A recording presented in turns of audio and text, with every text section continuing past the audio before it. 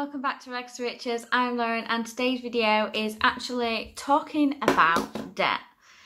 Now, not a lot of people like talking about debt and it's understandably like a taboo subject. Um, I have somebody on Instagram said to me, you seem to be really into like personal finance and things like that. Um, you should check out these podcasts. So started listening to these podcasts and they are they're all about like money and stuff.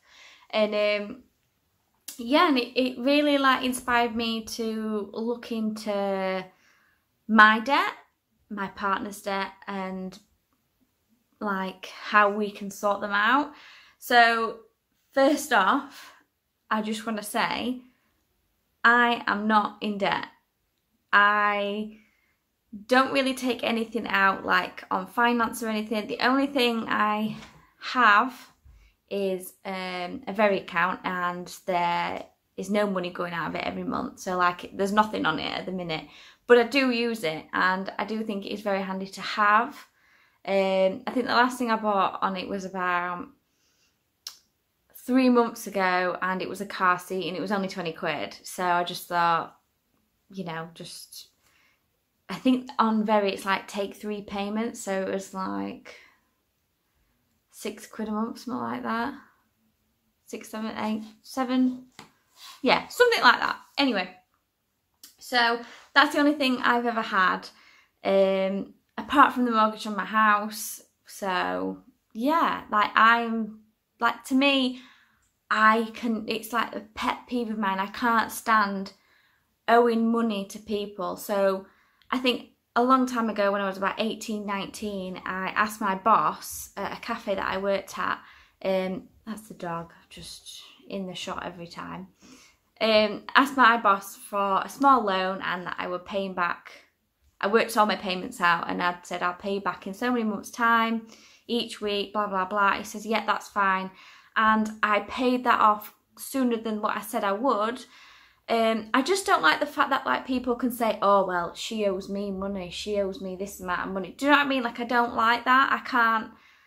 I just can't stand someone having that hold over me. I just I like to be free. I'm a very free person, and I don't like to worry about spending money on things, thinking, "Oh, I've really got to make this payment. I've got to make this payment." So, personally, for me, nothing. I've got no debt. However, my partner has quite a considerable amount of debt and mental, mentally, I have taken that on recently since listening to these podcasts. Um, I did put out a poll on my Instagram saying, if your partner was in debt, would you help them out? Now, I found this quite fascinating. So, a lot of people said yes, they would help them out. Like, don't get me wrong, we are making the payments on time. Like, the payment situation's totally fine. That's we weren't got like bailiffs knocking on the door saying you need to pay this bill basically. Um it's just normal payments that most people would have and are happy to have. See my partner's like totally happy to have this payment but for me debt is the devil and i can't stand it so the approach i'm taking to it is the um, baby steps by dave ramsey um, i'm gonna try and explain it as best I can. I might butcher this. I have kind of like made it into my own sort of thing um, as well, which you can do. It's your life, it's your goals, it's your dreams. Like, this is just one man's set plan, and it is for most people, but for us, it's totally different. So I'm going to try and explain it my way as best as I possibly can. So I am, I have got it like on in front of me on the TV, so I'm not going to look bang on in the camera, sorry. okay, so the baby steps. Step one is save a thousand pounds for emergencies. Now, I am doing that right now. I did last year have a two thousand pound emergency fund, and I have spent it all. Um, I did achieve that by 2019 in, well, yeah, 2019 in December. Um, so I totally achieved that, and I was so happy I did that because I generally did need that money at the end of the year, coming into the new year because of coronavirus and all that lot. So I am grateful for doing that and for you guys like watching me do that. You made me do it. If that I knew someone was watching me, so I had to do it. So I'm grateful for that. So yeah, emergency fund. So I'm back on with building that up um, of a thousand pound. Um, however, I've tried to get my partner to do this, and he's just like, no, let's just get the debt paid off. So I'm just like, I want you to do this step, please do it. But he's like, no, no, no, no. So anyway, step two is pay off all debts. Now, Dave Ramsey says, write all your debts out and then start with the smallest and then go down to the largest. Um, and still make the minimum payments on everyone each month. So like if say if you've got a hundred pound debt on, I don't know, withdrawal on your bank account, then you pay that off first and then you pay like the thousand pound one next and da da da da da. So yeah. Um I am going to tell you the total of my partner's debt, and this was back in June. So the amount is fifteen thousand eight hundred and sixty-four and seventeen pence. Um, I actually did pay off quite a quite a lot actually of that debt um, so far. um, and things that I'm trying to do with this debt is to um, whatever my eBay profits are, I give 30% of that to my partner and he pays the smallest one off first. So his smallest one right now is his Littlewoods account, which at the beginning um, was £500 and uh, what is it now? Now it's £256. So yeah, we're getting there. um, it is a process. Um, I will tell you what they are all are now. Um, so I had my Very account, which I just quickly paid off. Like it wasn't a problem for me, so nothing owing on that anymore. And I will still keep it open. So don't nag at me in the comments. It's my life. I'll do what I want. um, then it was my partner's overdraft of 200. I paid that off. Um, Littlewoods was 500. My partner's credit card, 729 pound. We have a DFS sofa on finance. um, that was, or oh, that is right now, last month it was 1088 um, We did get, because I work with that company, I do get 30% off, so we had a huge saving on the sofa. So I know that's not an excuse, but we did need new sofa. It was, our old one was getting tatty and we really wanted to redecorate the living room. Okay, and then the next one is my partner is doing a lorry license at the minute, and that is a total of three grand altogether. I think is I think all that's left on it is two thousand five hundred. I'm not exactly sure. Um, it's that's sort of like iffy, but it probably will be about round about that mark anyway. Um, and then we have bought a new car on finance, which uh, last month the total was 10,429. So yeah, 15 grand in all. Um, so yeah. Um, so the end of July, which is tomorrow, um, the total is gone down to fourteen thousand five hundred and seventy three pound and sixteen p. So I've two, closed two debts off for one month, which is absolutely incredible. Um, so I'm really chuffed about that. Um, so yeah, like I say, I'm donating like 30% to my partner to pay off his debts. That's the best way I can do it. Um, that's the only way I can help right now. But I've told him um, as soon as any overtime comes up at work, take it, and then that that day's pay will go towards your debt. So I'm trying to like make his mind better. like just pay it off and don't take any more out. I can't stand it. So yeah, I've like emotionally taken it on. Um, also referring back to the Instagram thing, um, the people that said no, that they wouldn't help their partners out, were all female. And all the men who took part in the poll said yes, they would help them out. So that was really like mind boggling to me. Okay, so once you've paid off all your debt, pay into an emergency fund for three to six months worth of bills to like live off. Um, so yeah, that's step three. Then number four, invest 15% of your income into retirement. And then it's step five, which is uh, start a college fund. Now, we live in the UK, so this is where I go off a bit. so we live in the UK, and um, yes, we could make a a uni fund, but not a lot of people generally do go to university, and the debts are so, like you can easily get a, a university fund from a bank.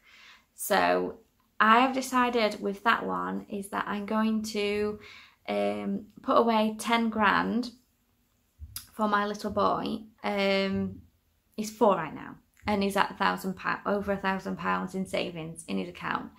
Um, so yeah, we want to make 10 grand and that is going to be a payment for his first house. Now, I'm not going to tell him this at all. Um, because I think like when an 18 year old sees that, oh, I've got a bank statement and it says 10 grand, they're like, party, we're here, let's go out on the town It's totally gone. All that hard work has gone. So I am not going to tell him about it. Um, and probably like race to the front door when the postman comes when he gets old enough um, to not see them statements. Um, so yeah, with me building that account up for him, I put £20 a month away, which isn't a lot. Um, and also I'm going, well, I have been, whenever I sell anything, look how greasy my hair is, like Christ, on a bike. Um, so whenever I sell anything of his, all the profit goes into his bank account. Um, unless he needs something or if we're going to have a day out and I know he's going to like rinse my pockets dry, then I will put that money for him to have and enjoy. So yeah. um, okay, number six, pay off your mortgage. Um, probably by, uh, well, my mortgage only has eight years left on it. So, yeah, what we have decided to do after we have paid all the debt off is to start a new savings account to buy a second property, a holiday home in the UK, and to have that rent out and have that as like another income coming in. Um, which, if we found one, um, profits could be two grand a month or like 1,500 profits a month if it kept like 500 to keep it running and bills and stuff. So yeah, that's that's kind of like the dream. That would be like a retirement type of thing. Um, so yeah, that we're really that's where we're focused at at the minute. With that, um, what else? Uh, number step seven is giving. So that basically means like giving back to the community and just free financially to do whatever you want um, which is absolutely amazing. So yeah, that is basically my debt journey, if you like. Um, I don't know if you guys want me to like put the figures on an Instagram post so you can visually see it because I feel like sometimes visually seeing things, the numbers, um, is really great. So let me know. Anyway, that's my debt emotionally. Um, so yeah. Also, what else am I doing to pay the debt off? Um, this month I've actually started getting into um, receipt app. So basically you take a picture of your receipt and then you upload it and then you get like cash back. Um, so a lot of them are quite different. So you can have them paid into PayPal or you can have them in an Amazon voucher or what else? Um, yeah, they're mostly like vouchers, but some you can get paid into your PayPal account. So as soon as I can get them paid into my PayPal account, they will be going straight into my partner's debt. Now, a lot of them are minimum of like, you have to get to like five pounds worth and then you can withdraw that, the points, if you like, uh, the money. Um, so it does, some of them do take a lot of time to do, some don't. Um, my favourite one so far is Snap My Eat. So basically you take a picture of your food receipts and I think every 15 receipts you take a picture of, it's five pounds. So that's that's really quick considering receipt apps from what I've learned so far this month. So yeah, there's no referral link. You just type it into your wherever you download your apps from. If you're, I don't know what it's called for an iPhone. I don't even know what it's called for, for an Android, but I just know the tab. It's like a Google thing. I don't know. So yeah, or you can just Google Snap My Eats. Snap My Eats. Um, uh, go on the website and it can show you how to download it and everything. Dead simple, dead easy. Um, really, really worth downloading that app. So yeah, I think that's it. Um, I suppose I could give you a quick update on the wedding. Um, it's been cancelled. Really, really good about that. Um, but at the beginning of coronavirus, me and my partner did say if the wedding got cancelled, then I would have a second dress. So you know how like some women will have like a ceremony dress and then they'll have like a reception dress. Well, that's basically what I'm doing. So I'm not going to go crazy as spending wise as much as I did with the first dress. So my budget is like 400 and I don't care if it's second hand or not, as long as it's what I envision for a second dress. That's all I'm saying on that one. so yeah. Um, I hope you have a great day. I hope you have some great eBay sales, Amazon sales, Etsy sales. Just, I hope you have a fabulous day. And thanks for watching. And I hope this has helped in any way. Um, so yeah.